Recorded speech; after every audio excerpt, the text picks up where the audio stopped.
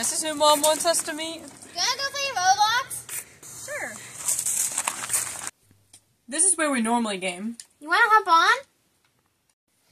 This is what you guys really do in your spare time. Back in my homeland, we spend a lot of time outdoors watching football. You guys want to come with me? He just called me something in tags. Don't care. One again. Headshot. They weren't even listening to me. Do you guys want some water or some snacks? Bloxy Cola, please. Coming up. Ugh, I think this is the Wi-Fi. I can't believe that British lad really fell for it.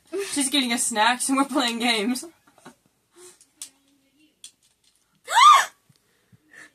The Wi-Fi went out. This is so not good. Battle Pass was dropped in 10 minutes.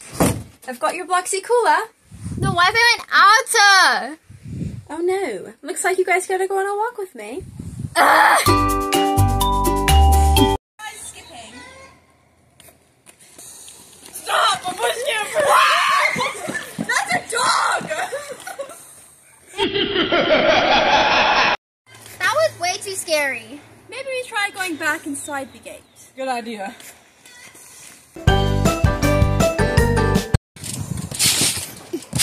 Oh, you better clip that, but it was so not fun.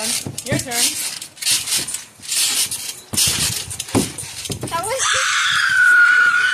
Why is there so many dogs here? We definitely should go back inside. Turn the Wi-Fi back on for them.